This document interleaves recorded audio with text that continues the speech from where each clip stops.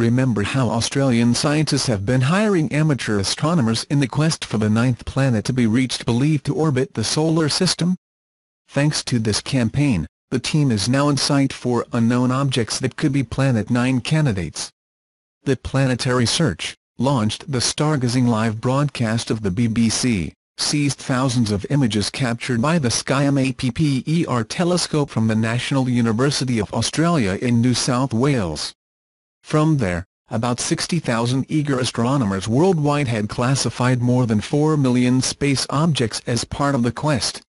Principal investigator Brad Tucker reported that the probe is taking a specific direction.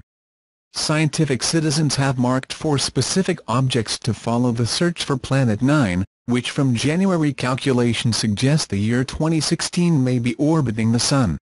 The hypothetical planet is believed to be about 10 times the size of Earth and 800 times its distance from the Sun. Astronomers will use the telescope at Siding Spring as well as others around the world to investigate the four objects and see if they are viable planetary candidates. Even if the prospects do not turn out to be possible, the team celebrated the achievement of four years' worth of scientific analysis in less than three days.